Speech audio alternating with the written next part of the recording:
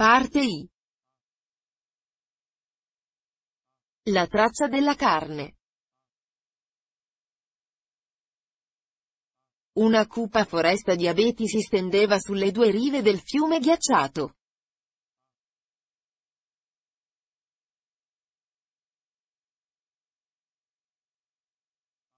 Recentemente il vento aveva strappato agli alberi il loro bianco mantello di brina, e gli alberi, neri e sinistri, sembrava si appoggiassero l'uno all'altro, nella luce morente, un silenzio di tomba regnava sul paesaggio.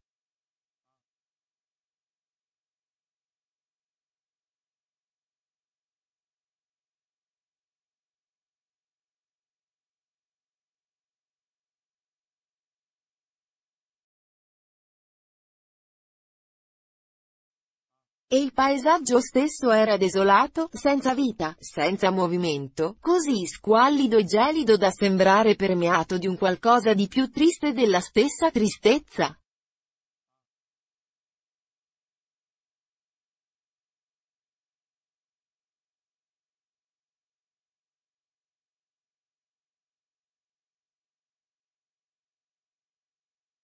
Vi regnava quasi un accento di riso, un ghigno ben più terribile di ogni tristezza, un riso tetro come il sorriso della Sfinge, un riso freddo come il gelo, in cui si sentiva leggiare la truce minaccia dell'ineluttabilità.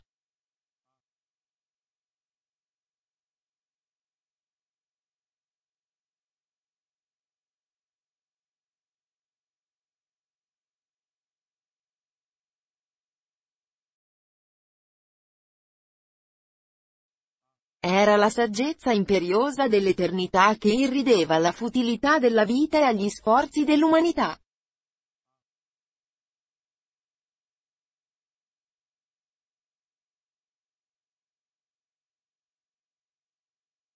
Era il wild, il selvaggio, wild, della terra del nord, dal cuore di ghiaccio.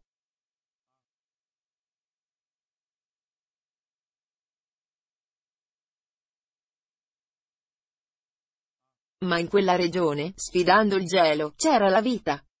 Lungo il fiume ghiacciato scendeva a fatica una muta di cani lupi.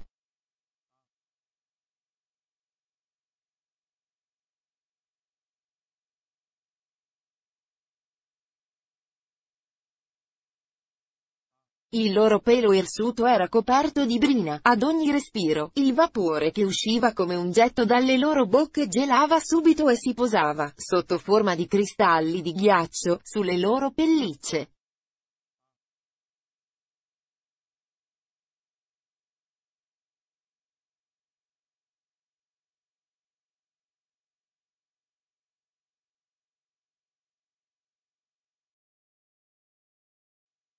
I cani erano bardati con finimenti di cuoio ed erano attaccati ad una slitta con tirelle pure di cuoio.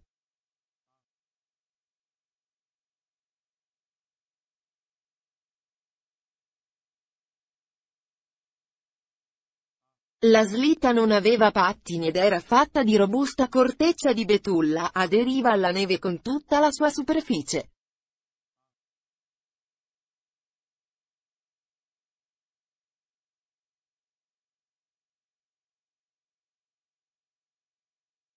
La parte anteriore della slitta era sollevata e come ripiegata su se stessa, per cacciare sotto e ai fianchi la neve fresca, come se si trattasse di un'onda marina.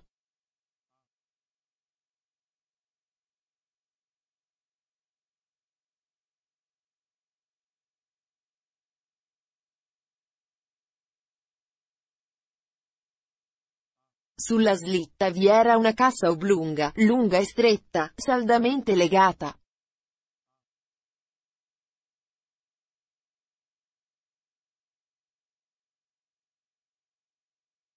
Vi erano anche altre cose, delle coperte, una scure, una caffettiera e una padella, ma la cosa che più spiccava ed occupava maggiore spazio era la cassa oblunga.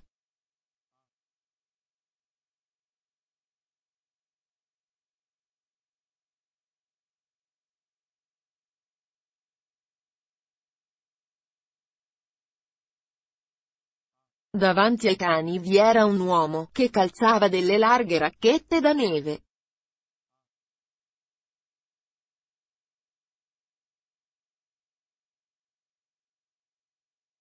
Dietro alla slitta si affaticava un altro uomo.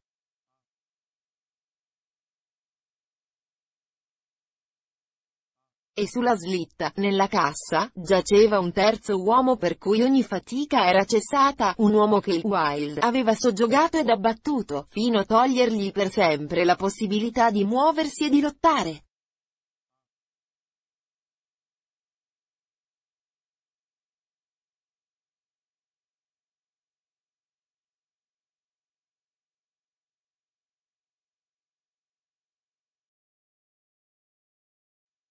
Il Wild non ama il movimento. La vita è un'offesa per lui, perché la vita è movimento, e il Wild mira ogni ora a distruggere il movimento.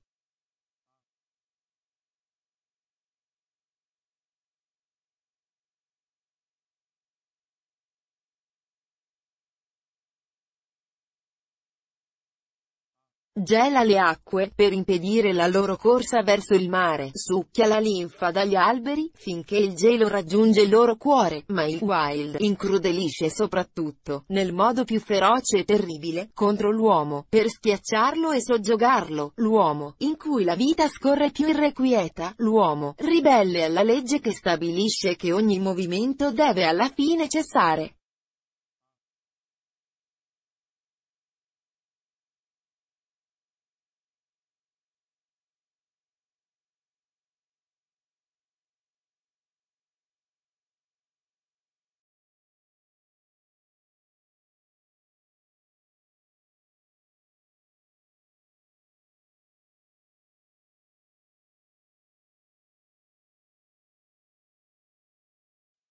Ciò nonostante, con coraggio indomito, uno davanti, l'altro dietro alla slitta, i due uomini che ancora non erano morti proseguivano nella loro fatica.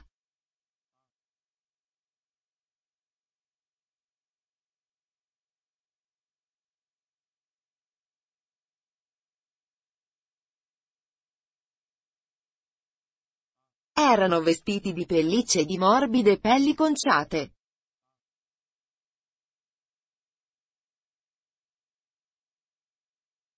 Avevano le sopracciglia, le guance, le labbra coperte di ghiaccioli, formatisi dal condensarsi del loro respiro, così che non si potevano distinguere i loro volti.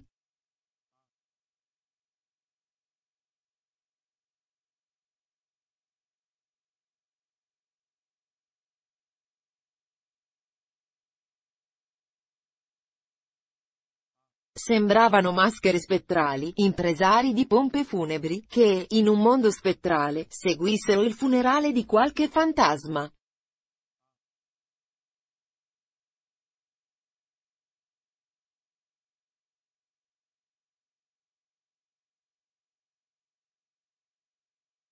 Ma sotto quell'apparenza erano uomini, che penetravano in quella regione desolata, beffarda e silenziosa, microbi dallo spirito avventuroso che si slanciavano in un'avventura colossale, e che volevano battersi contro un mondo potente, contro un mondo straniero, ostile e tragicamente immobile come gli abissi dello spazio.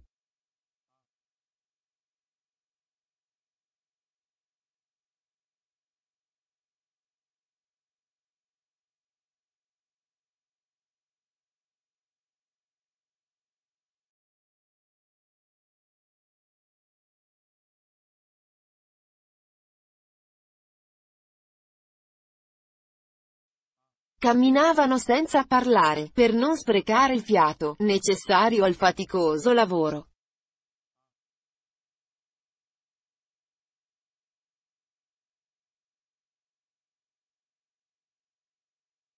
Ovunque era silenzio, un silenzio così intenso ed opprimente, che sembrava materializzarsi in qualcosa di tangibile.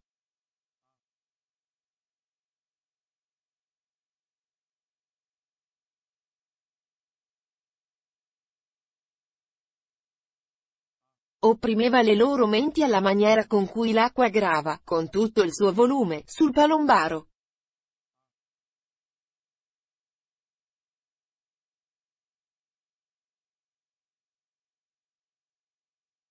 Li schiacciava col peso di una vastità infinita.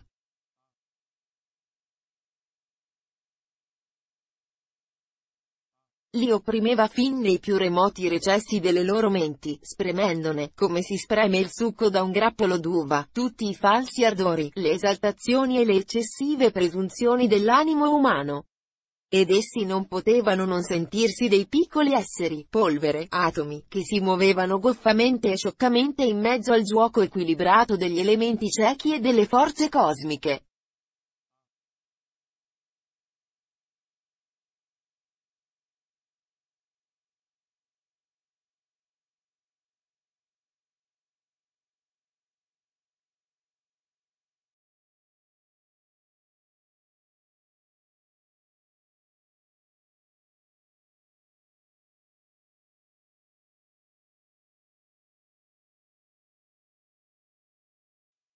Un'ora trascorse, e poi un'altra ancora.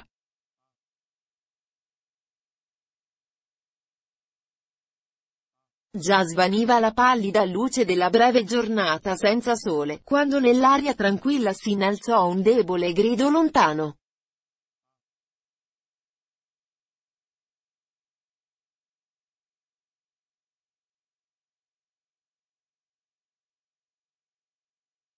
Sorse improvviso, crebbe sino a raggiungere la nota più alta, che tenne per un poco, una nota forzata e palpitante, e poi lentamente morì.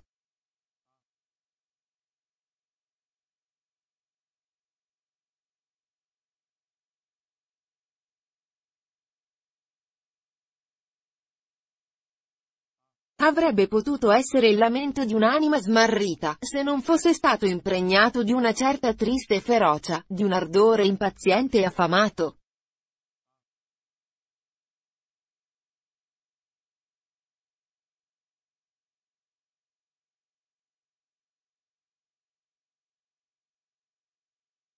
L'uomo che camminava davanti ai cani girò la testa, ad incontrare con lo sguardo gli occhi dell'uomo che seguiva la slitta, poi, al di sopra della cassa oblunga, si scambiarono un cenno d'intesa,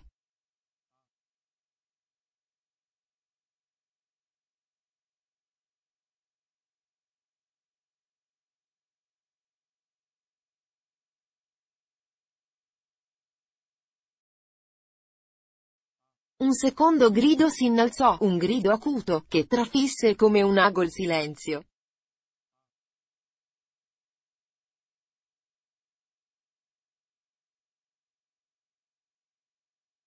I due uomini ne scoprirono la provenienza, il suono sorgeva dietro a loro, in qualche punto della candida distesa che avevano appena attraversato.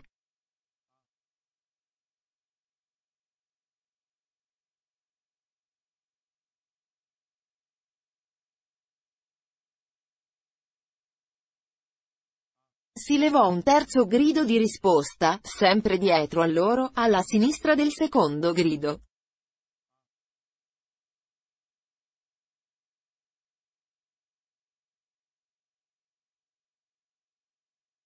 Ehi, corrono dietro a noi, Bill disse l'uomo che camminava in testa.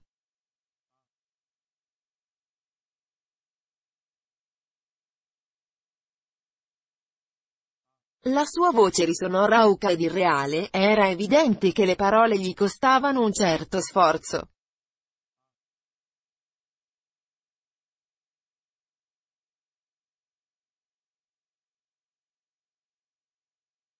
La carne è scarsa rispose il compagno.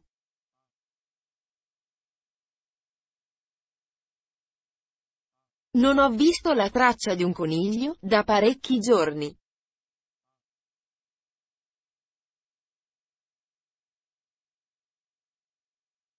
Tacquero, ma continuarono a tendere l'orecchio a quegli urli che si levavano dietro a loro.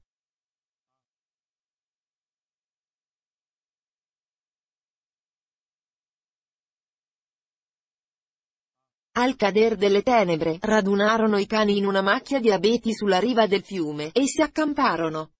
La bara, posta accanto al fuoco che avevano acceso, servì da sedile e da tavola.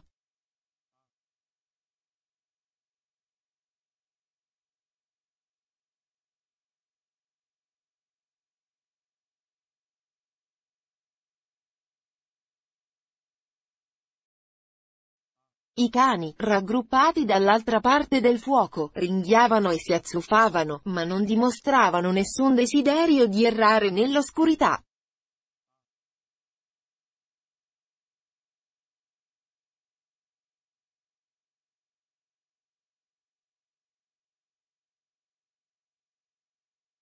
Enrico, mi pare che se ne stiano ben stretti all'accampamento osservo Bill.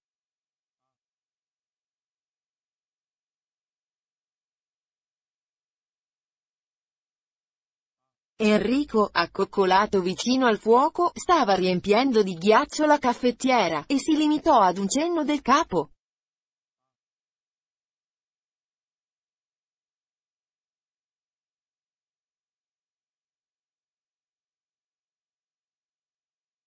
Ne parlò finché non fu seduto ed ebbe cominciato a mangiare.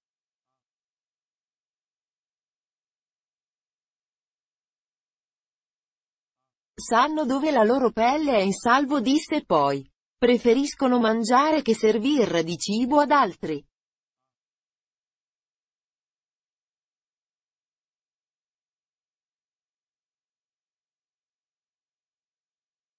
Sono saggi, loro. Bill scosse la testa. HM, non so. Il suo compagno lo guardò con curiosità.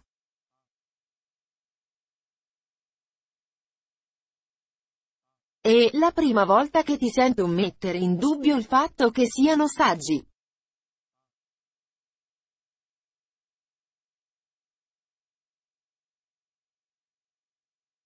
Enrico, disse l'altro, masticando con calma una manciata di fave hai osservato quanto chiasso facevano i cani quando ho dato loro da mangiare? Già, più del solito, riconobbe Enrico.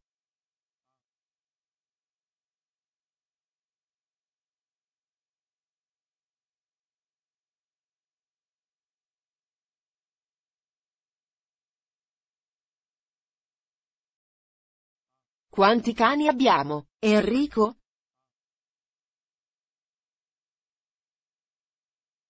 Sei. Bene. Bill tacque per un istante, come per dare maggiore importanza alle parole che stava per pronunciare.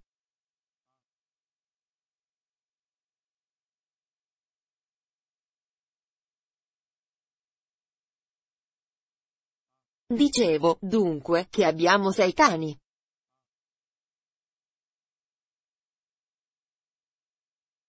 Ho tirato fuori dal sacco sei pesci.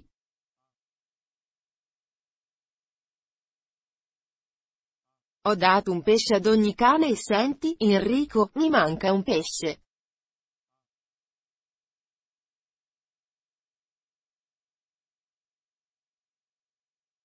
Hai contato male. Abbiamo sei cani ripeté l'altro freddamente.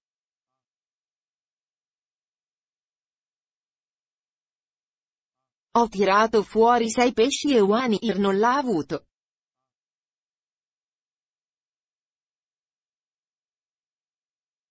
Sono tornato indietro dopo e gli ho dato il suo pesce.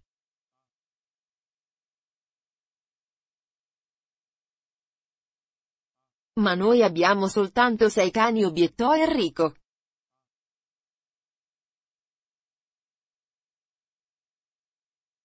Enrico, proseguì Bill non dico che fossero tutti cani, ma erano in sette a prendere il pesce.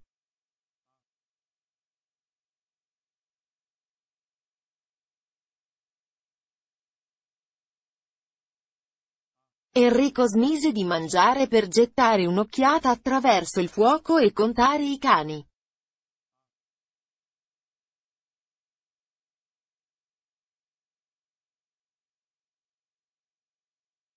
Sono soltanto sei, ora.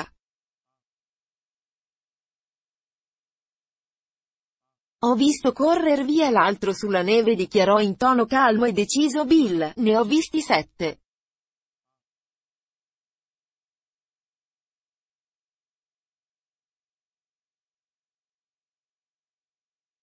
Enrico lo guardò con commiserazione, sarò terribilmente felice quando questo viaggio sarà finito.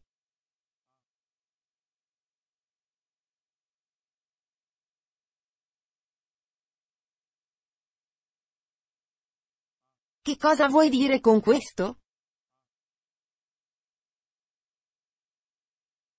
Voglio dire che tutte queste fatiche ti danno sui nervi e che stai cominciando ad aver le traveggole.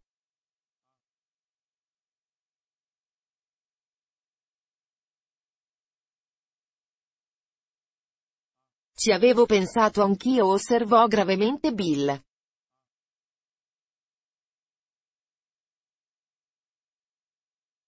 E allora, quando ho visto quell'altro correre via sulla neve, ho guardato e ho visto le orme. Allora ho contato di nuovo i cani, erano proprio sei.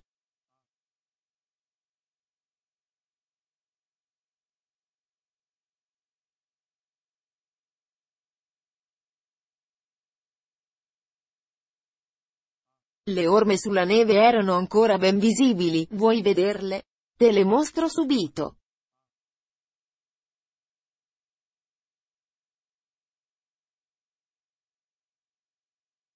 Enrico non rispose, continuò a masticare in silenzio e finì il pasto con una tazza di caffè.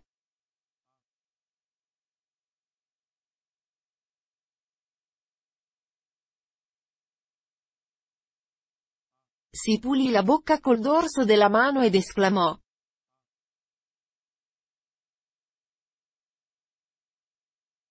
E allora tu pensi che fosse? Un lungo ululato, tragicamente feroce, sorse dalle tenebre.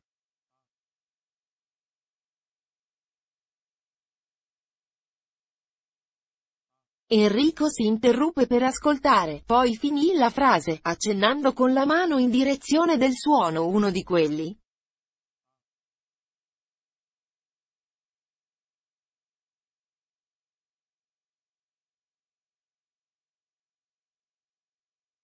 Bill annui.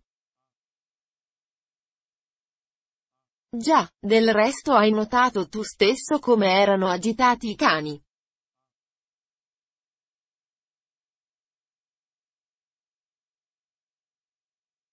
Intanto gli ululati si succedevano da ogni parte, trasformando il silenzio in un manicomio.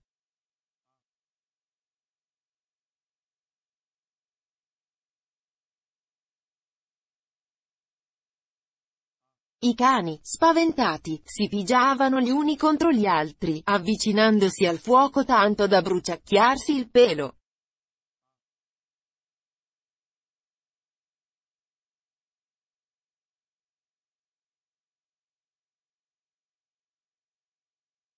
Bill gettò altra legna sul fuoco e poi accese la pipa.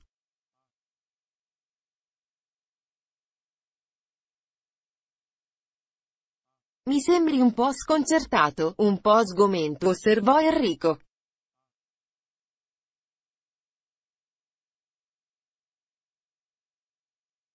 L'altro aspirò qualche boccata di fumo e poi, accennando col pollice alla cassa su cui sedevano, disse, Enrico, stavo pensando che quello lì è stato ben più fortunato di quanto saremo noi.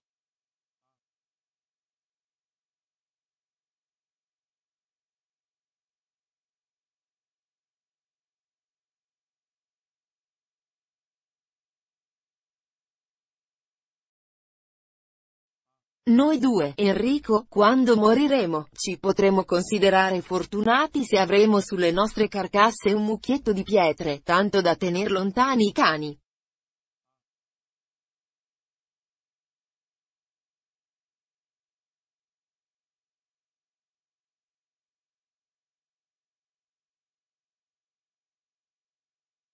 Ma noi non abbiamo avuto una famiglia e denaro e tutto il resto, come ha avuto lui ribatté Enrico, non ci possiamo certamente permettere dei funerali così lunghi.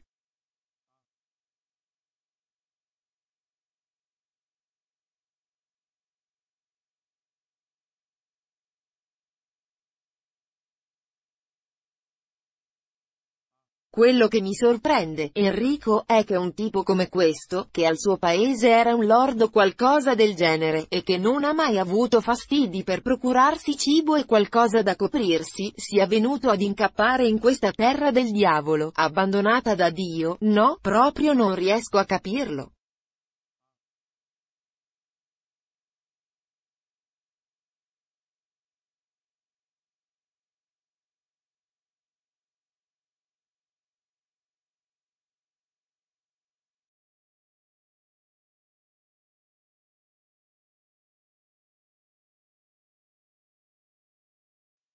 Avrebbe potuto diventar vecchio, se fosse rimasto a casa sua, confermò Enrico.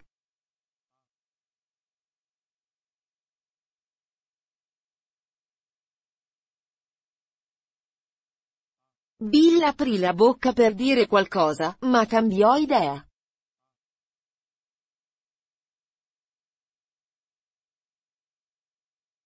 Rivolse invece lo sguardo verso la muraglia di tenebre che li opprimeva da ogni lato, non si poteva distinguere nessuna forma nella completa oscurità, si poteva soltanto vedere un paio di occhi che risplendevano come carboni ardenti.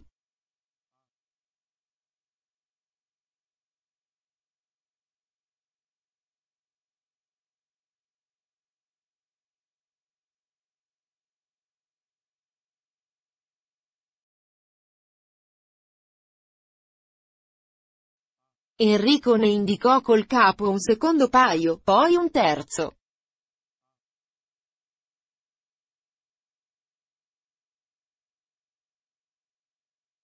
Un cerchio di occhi luccicanti aveva circondato il loro accampamento, ogni tanto un paio di occhi si spostava o spariva, per ricomparire un attimo dopo.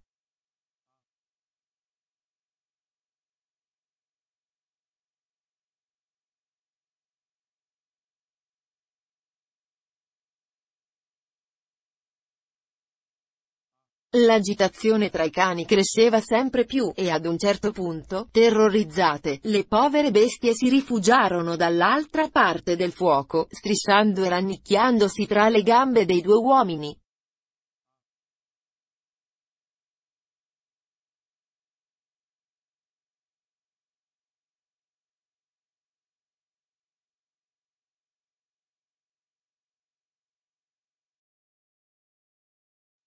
Nel trambusto uno dei cani era finito quasi tra le fiamme e aveva cominciato a mugolare di dolore e di paura, mentre si diffondeva nell'aria l'odore del pelo bruciacchiato.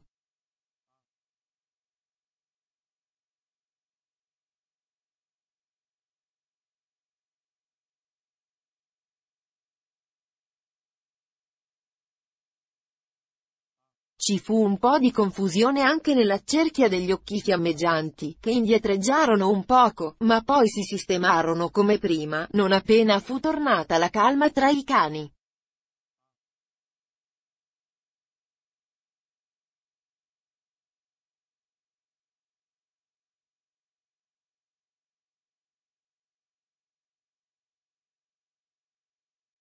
Enrico, è una maledetta sfortuna essere senza munizioni.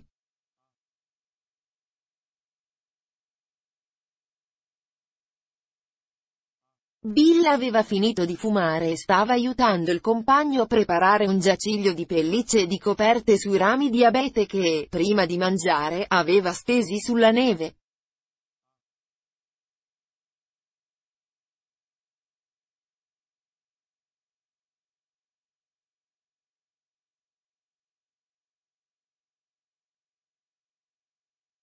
Enrico grugnì e cominciò a slacciarsi i mocassini.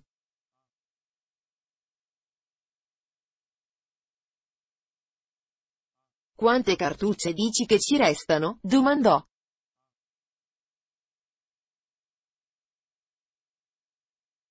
Tre fu la risposta. E vorrei che fossero trecento.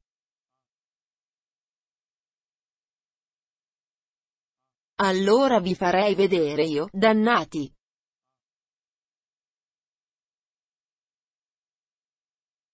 Scosse rabbiosamente il pugno verso gli occhi luccicanti e pose i suoi mocassini vicino al fuoco.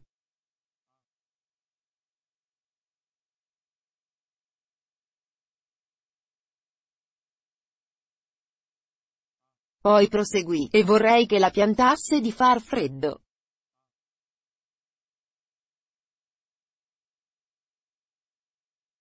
Ormai sono due settimane che siamo a 50 sotto zero.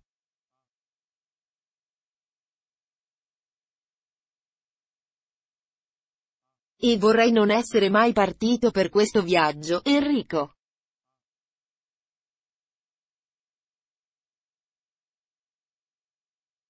Non mi piace come ci guardano quelli, mi scombussolano, ecco.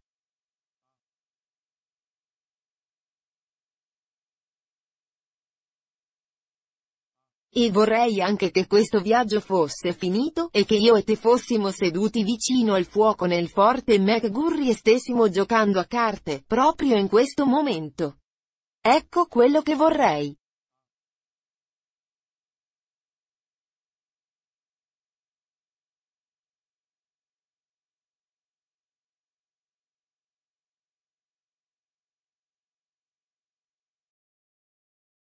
Enrico grugnì e si ficcò sotto le coperte.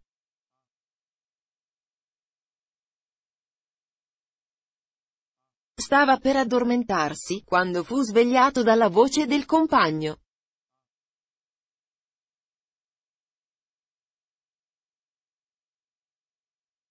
Di Enrico, quell'altro che è venuto a prendere il pesce, perché i cani non si sono scagliati su di lui?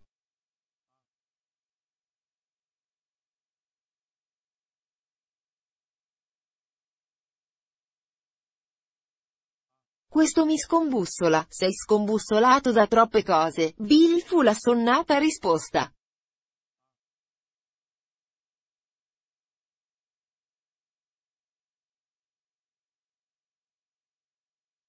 Non sei mai stato così. Adesso chiudi il becco e va a dormire. Domani mattina ti sentirai di nuovo vispo come un pesce.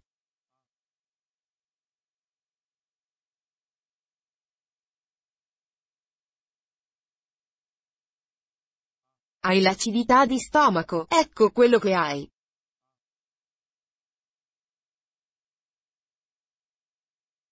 Gli uomini si addormentarono, respirando rumorosamente, fianco a fianco sotto le stesse coperte.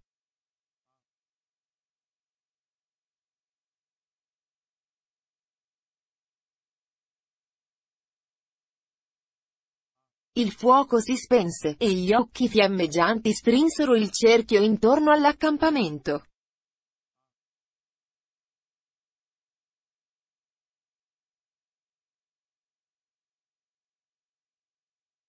I cani si strinsero l'uno contro l'altro impauriti, ringhiando minacciosamente di quando in quando, se un paio d'occhi si avvicinava troppo.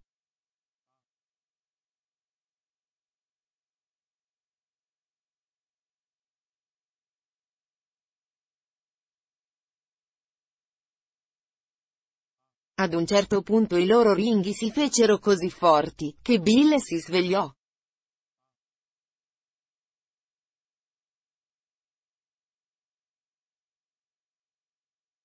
Si tirò fuori dal giaciglio piano piano, per non disturbare il sonno del compagno, e gettò nuova legna sul fuoco.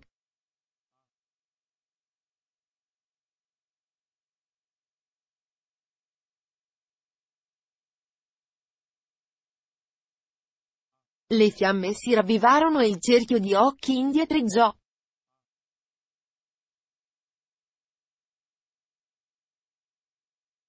L'uomo diede un'occhiata distratta ai cani.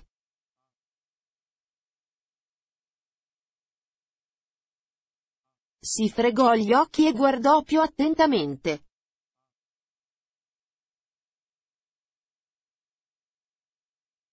Poi si infilò sotto le coperte e chiamò.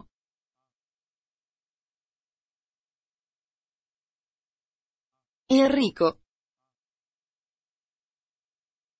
Ehi, Enrico. L'altro grugnì svegliandosi e domandò, cosa c'è che non va, adesso?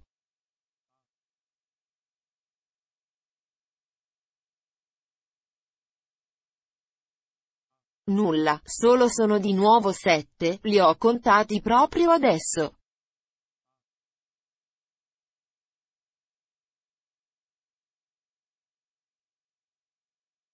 Enrico accolse la notizia con un grugnito e riprese a russare.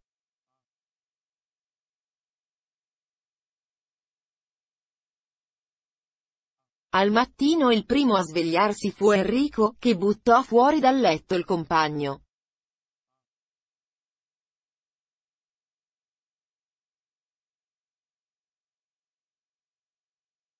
Benché fossero quasi le sei, mancavano tre ore all'alba, al buio, Enrico cominciò a preparare la colazione, mentre Bill arrotolava le coperte e preparava la slitta.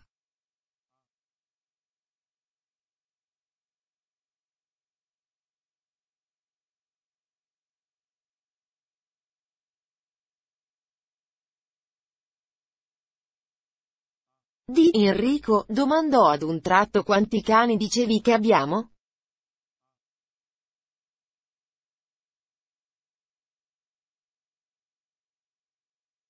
Sei. Sbagliato, dichiarò Bill in tono di trionfo.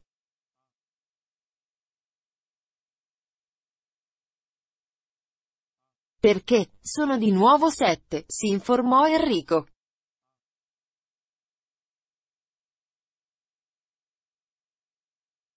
No 5, 1 se ne è andato.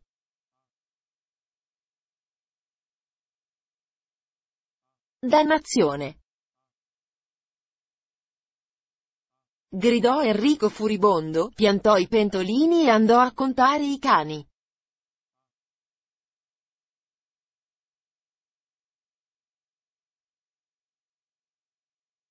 Hai ragione, Bill concluse. Fatti se n'è andato.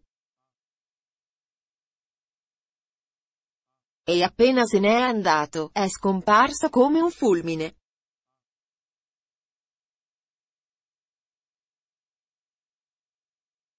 Niente da fare concluse Enrico.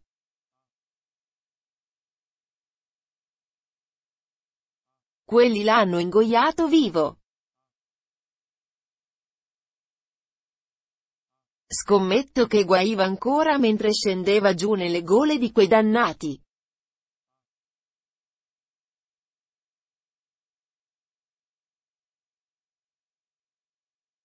È sempre stato un cane scemo, quello.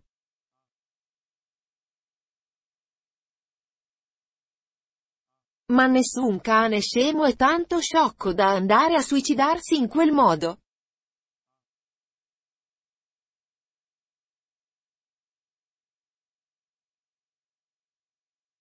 Guardò il resto della muta con occhio indagatore, valutando le caratteristiche salienti di ogni singolo animale.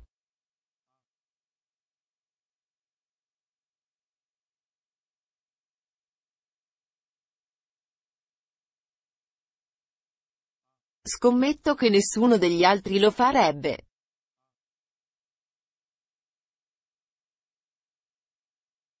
Non potremmo allontanarli dal fuoco neppure con un randello convenne Bill.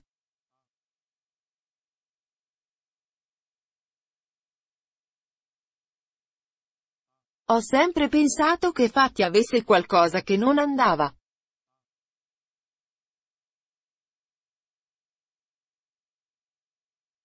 E questo fu il discorso funebre pronunciato per un cane morto durante un viaggio nella terra del nord, meno laconico, d'altronde, dei discorsi funebri pronunciati per tanti cani, per tanti uomini.